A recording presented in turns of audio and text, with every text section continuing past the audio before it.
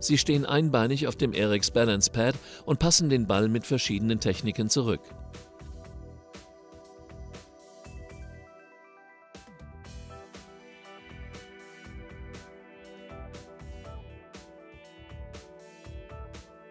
Sie können den Ball auch mit mehreren Kontakten hochhalten und dann erst zurückpassen. Haben Sie keinen Partner, können Sie den Ball beispielsweise gegen eine Wand prallen und sich somit selbst anwerfen. Alternativ können Sie auch zwischen den Passeinheiten eine Fußgelenksarbeit einbauen.